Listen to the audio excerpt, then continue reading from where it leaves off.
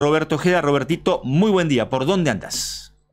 Muy buenos días, Martín, para vos, para el resto del equipo, para toda la gente que está del otro lado, prendida de regreso a esta hora de la mañana, ya con un calor bastante abrasante aquí a la vera del río Paraná, donde la mayor parte de la mañana informativa estuvimos en este lugar eh, cubriendo todo lo que tiene que ver con la búsqueda de este chico de 14 años, quien lamentablemente el día sábado eh, eh, se ahogó aquí en aguas del río Paraná. a partir del mediodía saldrán cuatro canoas con mayoneros que están colaborando con la búsqueda, ellos mismos y también la familia de este chico de apellido López están buscando la, eh, la posibilidad de poder acceder a unos recursos. Es gente muy humilde que en este momento está necesitando no solo combustible para sus embarcaciones, sino también eh, que la gente se solidarice con un poco de mercadería. Son momentos realmente muy, muy desesperantes lo que vive la familia. Hoy más temprano conversábamos con Nancy López, la mamá de, de este chico, que lamentablemente estaba muy pocos días ya de eh, cumplir 15 eh, años y que toda esta situación realmente ha dejado a una familia totalmente destruida. Roberto, este Roberto un segundito antes de tomar contacto con, con, ellos, obviamente vamos a estar absolutamente dispuestos a tratar de colaborar, porque me imagino que además del dolor, tratándose de familias trabajadoras, estar todo el tiempo pendiente de lo que pueda pasar con, con, con la búsqueda de, del cuerpo, hace que también en la changa cotidiana eh, de alguna manera se alejen de lo que habitualmente les da la supervivencia, ¿no? Ahora, esa zona en donde vos estás, ¿es una zona de playa o de barranca? No, es una zona de playa. Es una zona de playa que me comentan que como es zona también de, ladrilleros, que cuando hay una bajante pronunciada del río, vienen y eh, sacan de aquí el material para construir, ¿no? Bueno, a ver, ese, ese, es el, ese es el lugar en donde pasó lo que pasó, ahí bueno, y contame, yo no, eh, yo te escuchaba en, equipo de noticias, eh, brindándole un panorama a Cristina, de que cuando pasó lo que pasó el sábado, ¿fue? ¿El sábado? Sábado, sábado. El sábado. Em, los que conocen el río en la zona te dicen que a metro y medio está el canal de navegación.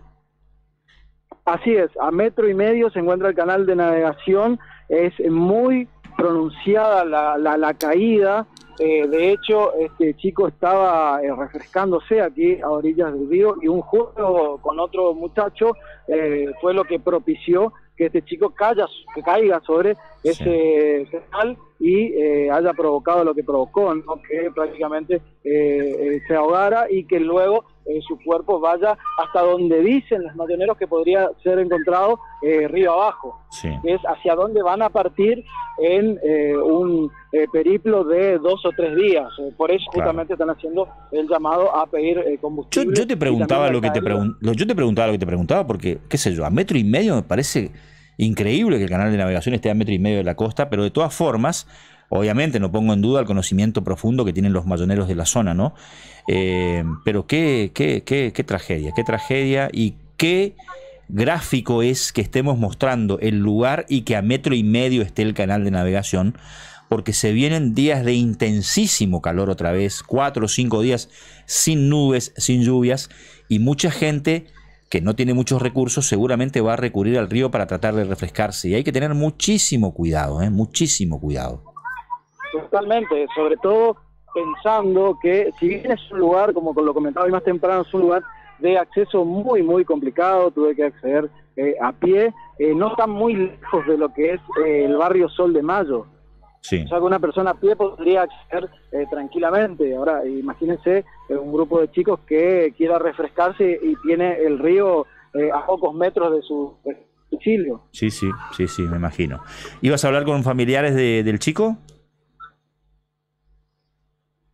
Roberto, ¿me escuchas? No, de, de, los, de los familiares que eh, realmente quiere hacer este, este pedido ¿no? de eh, solidaridad por parte de la comunidad correntina para con los matoneros que van a salir eh, unos cuantos días, me habías comentado, ¿no? Sí, sí, buenos días, mi nombre es Verónica, sí necesitamos de la solidaridad de la gente, que sabemos que hay mucha gente buena, de buen corazón, hoy por hoy necesitamos lo que es combustible, aceite para los motores, también necesitamos que pueden colaborar con mercadería y también con, carne o pollo también, porque ellos van a ir a hacer una ranchada allá abajo para el lado de la Aracatí, para, para buscar hasta que no le encuentren al nene, ellos no van a volver. Entonces necesitamos eso, hierba, azúcar, eso para darle a los muchachos mayoneros, que son lo único, ¿no es cierto?, que hoy nos están ayudando acá y les reagradecemos de corazón lo que están haciendo, porque si no son por los mayoneros, no sé qué estaríamos haciendo, porque lo que es la prefectura viene, va, pero nosotros no vemos que hacen nada. Ellos dicen que sí, pero para nosotros no hacen nada. Y bueno, eso más, y buprofeno en, como en comprimido, tafirol, eso para darle a los muchachos mayoneros que ellos toman eso, viste, de tanto que están en el sol, que reman y todas esas cosas necesitan también. Vimos que trajo, trajeron hace unos instantes nada más también una caja de picadillo, también con eso. También picadillo, las carnes en lata, lo que puedan, lo que sea con, o sea que se pueda comer en el momento, eh, le vamos a agradecer porque ahora ellos van a salir once y media, estamos juntando con las cosas que están trayendo alguna gente, como vos dijiste, están colaborando y ellos van a cargar todo y van a acampar allá hasta que le encuentren al nene, porque hoy por hoy ellos lo que dicen es que le habrá sacado el río eh, campo para abajo. De acá, a ver, son eh, 11 menos cuarto, de acá hasta las once y media. ¿Cómo la gente se puede comunicar o cómo puede llegar hasta este lugar para tratar de colaborar con ustedes?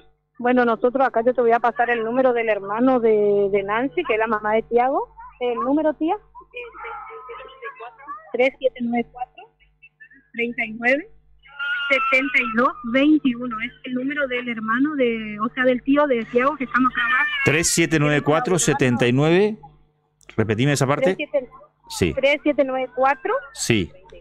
39 Ah, 72 21, señor. 39 72 21. Bueno, vamos a estar reiterando el número para la gente que pueda colaborar y como siempre es conmovedor el esfuerzo en colaboración de la gente trabajadora, de la gente que menos tiene. Los mayoneros están acompañando a la familia y están decididos a tratar de ayudar para que la familia pueda clausurar este doloroso eh, episodio. ¿eh? Sinceramente, como siempre, conmueve este compromiso de la gente que menos tiene a la hora de la solidaridad.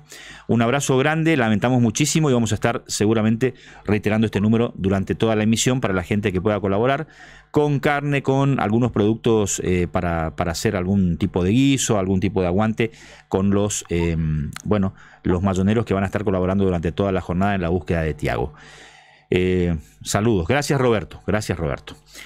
Bueno, eh, qué cosa, ¿no? Sí. Sí, Qué sí, cosa, ¿no? El río que tanto da, cuando quita, quita y conmueve de esta forma. Vamos a conversar con el diputado nacional por Corrientes, eh, don Jorge.